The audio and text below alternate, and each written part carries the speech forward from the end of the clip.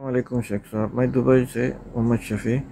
अच्छा मैंने एक बिल्डिंग की जो बिल्डिंग तैयार की है।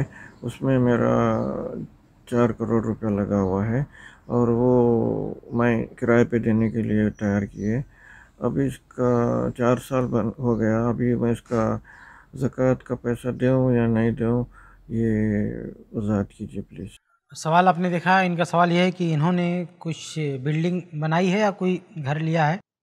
या फ्लैट लिया है या क्या किया, अल्लाह आलम। कोई प्रॉपर्टी है इनकी जिसको इन्होंने किराए पे देने की नीयत से हासिल किया है?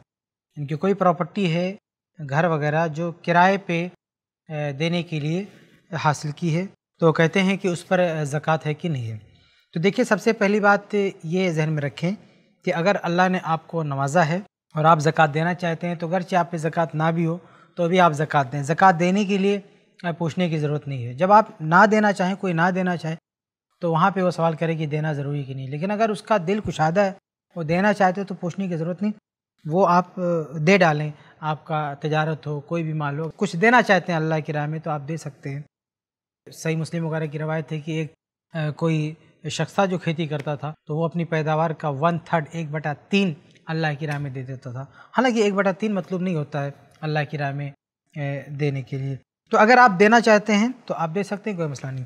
रही बात यह कि ये जो आपने मकानात ख़रीदे हैं इसमें ज़क़़त है कि नहीं? तो अगर आपकी नीयत ये है कि हमारे रहाइश के लिए मकानात होंगे, हमारे बच्चों के लिए होंगे, और जब तक इसमें कोई नहीं रहता है, तब तक ये किराए पर होगा तो आपके किराए की जो रकम आएगी उसमें आप ज़क़़त देंगे।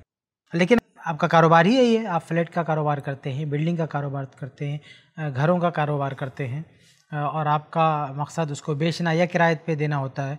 यानी अगर वो बिक गया तो बिक गया, नहीं बिक रहा तो किराए पे। ये सब आपका कारोबार है। तो कारोबार है तो उसमें आपको ज़क़़त देना पड़ेगा। अगर वो अमवाल तजारत है तो आप तजारत की हैसियत से वो प्रॉपर्टी आपने ली है तो आपको ज़क़़त देना है। और ऐसे ही आपने उसको इस नीयत से लिया है कि ये कल को हमारी विरासत होगा, हमारे बच्चों में, हमारे रिश्तेदारों में जाएगा। और जब तक इसका इस्तेमाल नहीं तब तक ये किराया आएगा इससे।